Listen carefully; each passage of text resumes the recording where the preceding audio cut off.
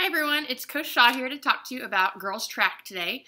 Girls track is a spring sport and it usually starts, practice starts around March 1st. Um, you will need a physical to participate in track. Each time you get a physical, it is good for two years. Um, each year you will have to sign um, another form um, signing off on some insurance information, but your physical is good for two years. Um, for track, uh, we have practices every day until 5 after school, and then Fridays we go until 4.30 as of now. Um, remember, track isn't just a running sport, although you can run. There are lots of running events, but there is some throwing events like shot put and discus. There's jumping events. Um, there's pole vault. So there's lots of different activities you can get involved in. I would say everyone just come out and try it. If you like it, great. If not, then at least you tried, okay? Um, there are no special equipment needed for track.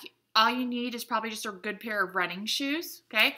Um, we'll probably do some preseason before March gets here, uh, maybe some after school just to kind of get you guys in shape so we can really start kicking it around March 1st, okay?